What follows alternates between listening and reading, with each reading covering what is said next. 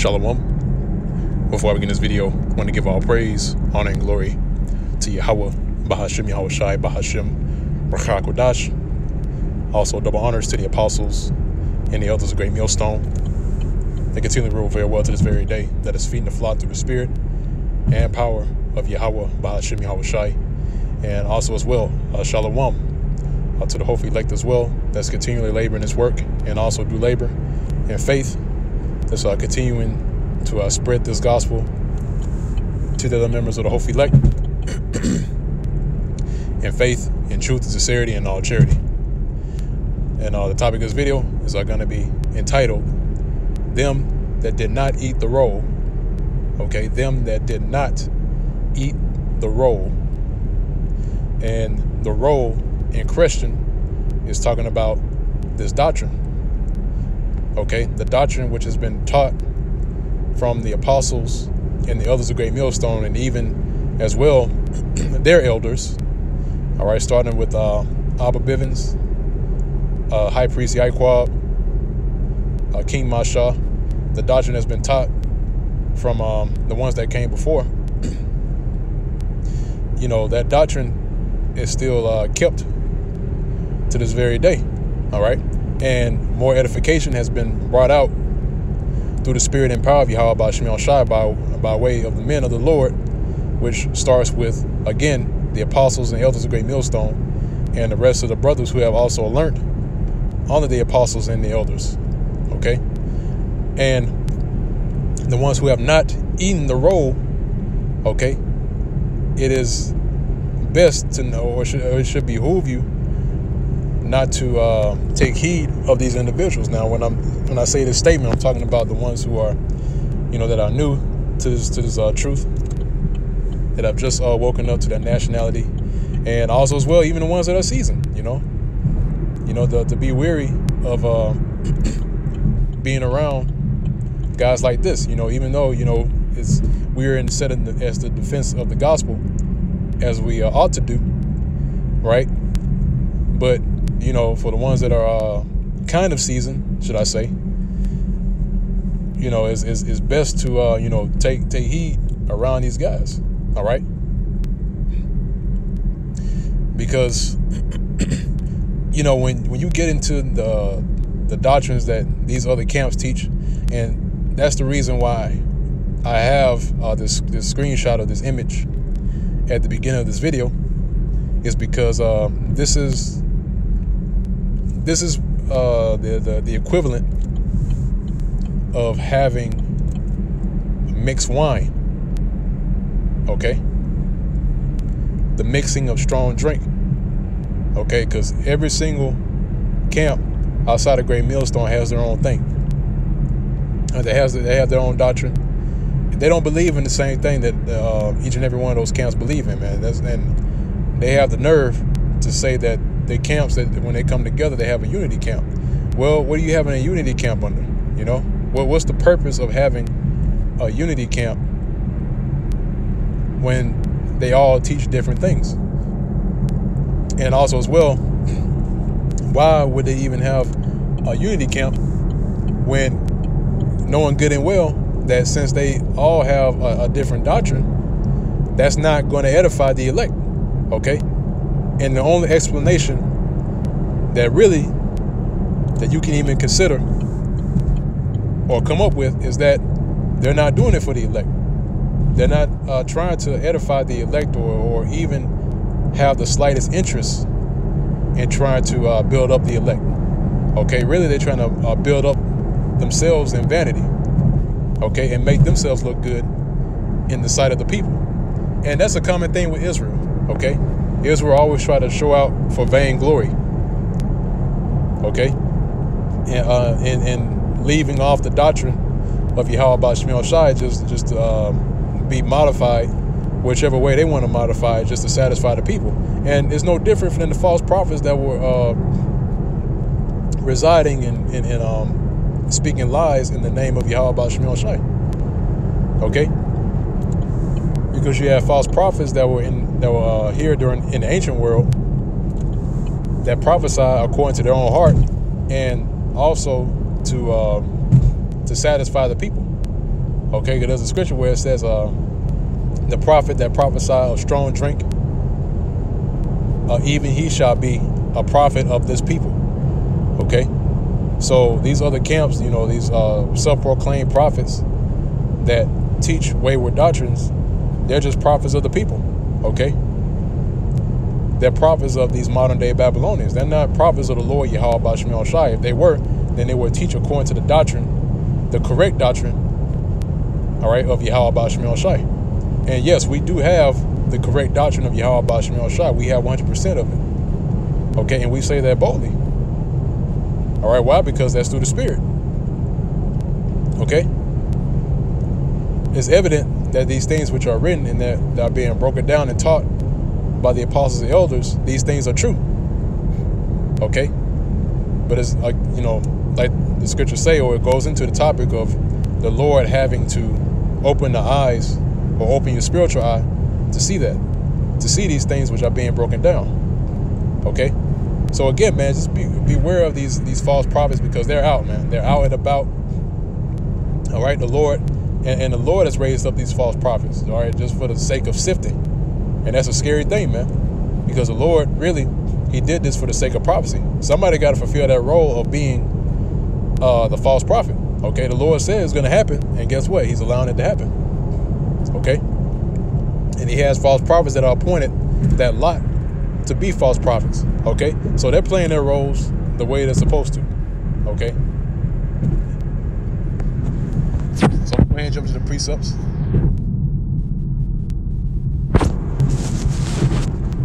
Uh, first, I want to grab uh, 1 Timothy chapter 6. It's at verse 3. It says, If any man teach otherwise and consent not to wholesome words, in which these are the wholesome words, which we read out of, okay, the scriptures, it says, even the words of our Lord Yahweh Shai Mashiach, because it even tells you that the Lord comes in the volume of the book. Yahweh Shai comes in the volume of the book. It says, into the doctrine, which is according to godliness. He is proud, knowing nothing, but doting about questions and strifes of words. Okay? And that's these guys, man. Okay? Because what the things that they teach, you know, is, is questionable. Okay? Because what they teach is is is that um what they teach you you have to go into the scriptures and if it doesn't line up with it in which of course when you go into it going to the things that they teach, you know, it doesn't line up with the Bible. It doesn't line up with other precepts. Okay? That's what it means by doting about questions. Okay? And they also get asked questions too by uh, the people that follow them, and they can't answer them because they don't have the answers. Okay? So, like I mentioned before, with ITR and FOPI, IUIC, these other Israelite camps that that um that are out. All right, these other camps, man. You know, the, the Lord is going to break up these camps. Okay? Because at the end of the day, it's all about the elect. Okay? Because even us, we know that every single brother or every single person in Great Millstone, you know, uh, not everyone in Great Millstone is right, man. All right? You got some you got some guys in Great Millstone that are not, that are not right. Okay? That's why again it's about the elect. Okay? And the elect are going to do things according to what the scriptures say. All right? And conduct themselves accordingly. Now, reading on, it says, uh, Where, Whereof cometh envy, strife, railings, evil surmisings, perverse disputings of men of corrupt minds. All right? Because their minds are corrupted, man. And what, what is it corrupted with? It corrupted with the, um, the cares of this world. Okay? And that goes into the parable of the sower when the seed fell on the ground. But guess what? That ground was full of thorns. And, and, and those thorns choked the word. All right? Which the thorns represents the cares of this life, the cares of this world, and the riches. Okay? And the scriptures also tell you to be a soldier. All right? Soldiers of, of Yahweh Shai. Okay? That is not entangled with the affairs of this life.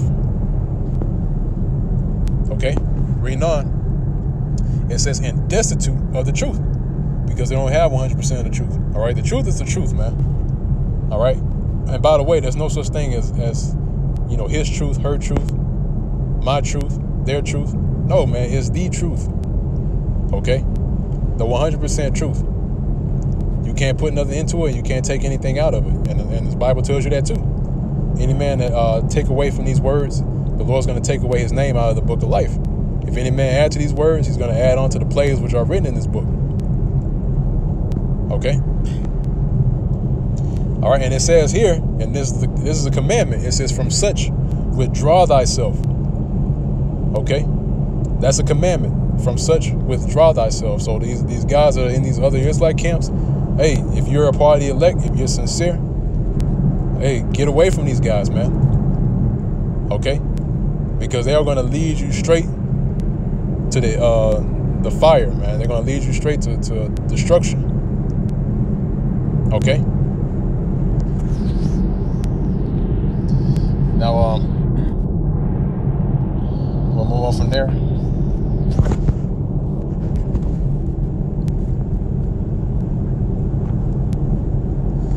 Another scripture I want to grab, and uh, I believe it's in First Timothy.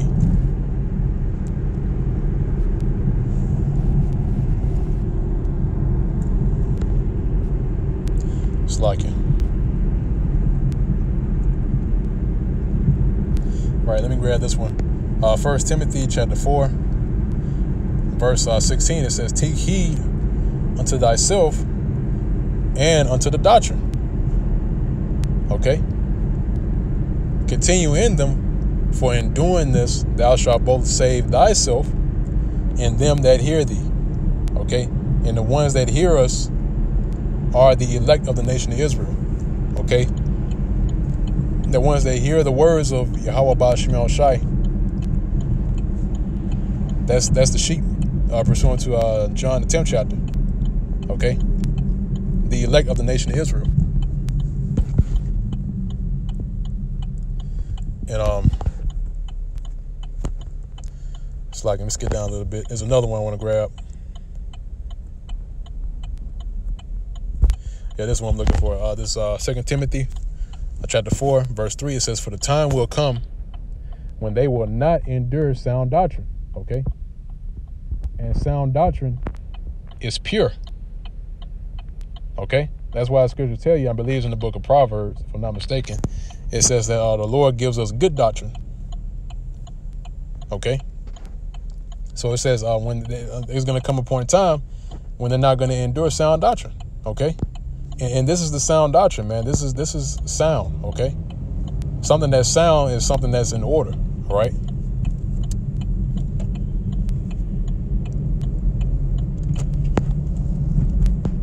It's, is balanced. It gives you comfort. Okay? Uh, but after their own lusts shall they heap to themselves teachers having itching ears. Okay? And they shall turn away their ears from the truth and shall be turned unto fables.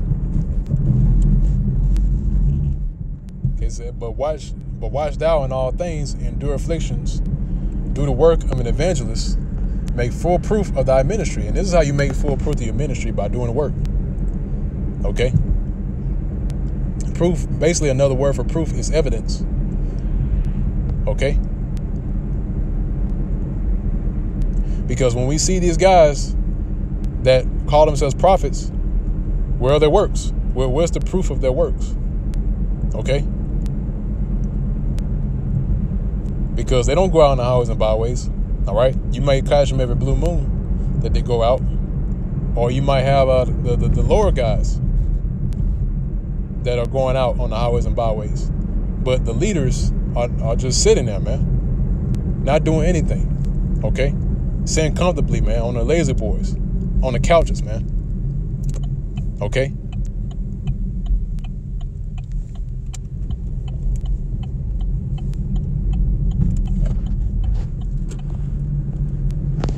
Now I'm gonna go back.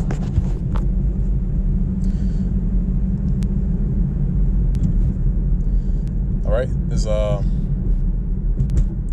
Second John chapter one, this is at verse 10. It says, If there come on, if there come any unto you and bring not this doctrine, all right, which is the doctrine again that is taught by the apostles and elders of Great Millstone and taught by the rest of the brothers that are in Great Millstone. Okay? Which again, that's through the spirit and power of Yahweh Shem Shai. It says, What? Receive him not into your house, neither bid him Godspeed. Okay? So the ones that are not teaching this, this doctrine, look, man, you have a harsh judgment coming to you, man. Okay? Just like the scriptures say, bid him not, uh, bid him not Godspeed. All right, or don't bid him Godspeed. Okay? Because the end of the ones who teach not according to this doctrine, the end of them is, going to be confusion. And rightfully so. Because the doctrine they're teaching is, is confusing, man.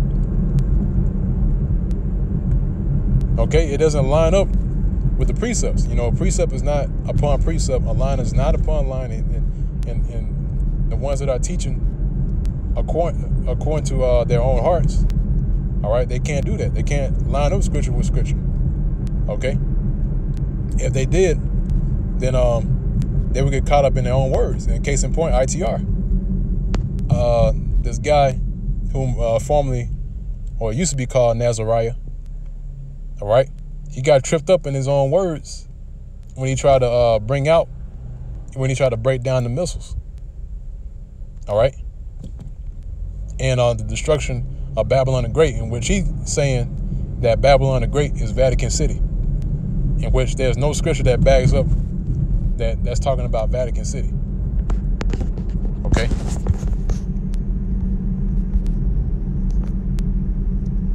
It's like it.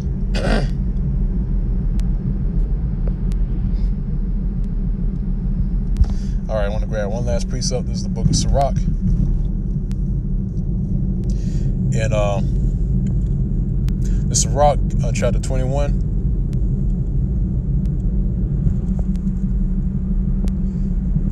I'm starting at verse. Uh, I'm gonna start at verse 18. It says, "As is a house that is destroyed, so is wisdom to a fool, and the knowledge of the unwise is as talk without sense. All right? In other words, nonsense. Okay? Verse 19 it says, Doctrine unto fools is as fetters on the feet, and like manacles on the right hand. See, and that's the point. So, doctrine unto fools it says fetters on the feet, man. Okay?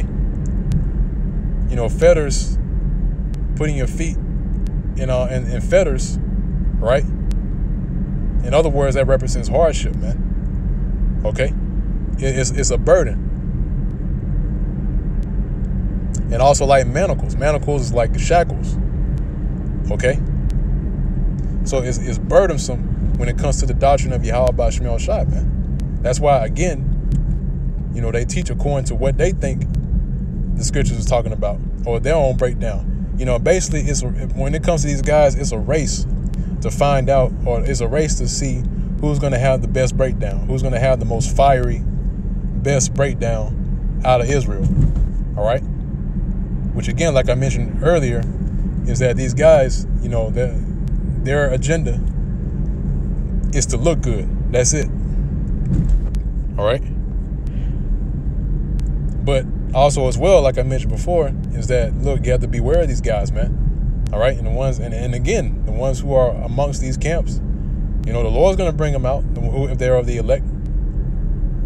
Okay, and we're going to all be in a unity, man. All right, the uh, a real unity camp. Okay, because what unifies us together is the word of Yahweh Bashmiel Shai. All right. That's what unifies us, man. That's that's the real unity camp. The the elect as a whole, that's the unity camp right there. Okay? Because we all speak the same thing, which Lord's will, we're a part of that number. Okay? So with that, I'm gonna go ahead and close it out on that note. Uh, Lord's will this was edifying to the elect of the nation of Israel. Again, we give all praise, honor, and glory to Yahweh. Ba'ashim Yahushai, Ba'ashim Rakakodash. Double honors to the apostles and elders of Great Millstone that rule well to this day. Uh, shalom, peace and safety, and salutations to the whole elect, uh, continually laboring this work, and also giving your diligence to make your calling, election sure, and faith, and truth and sincerity, and all charity. And with that, was a shalom.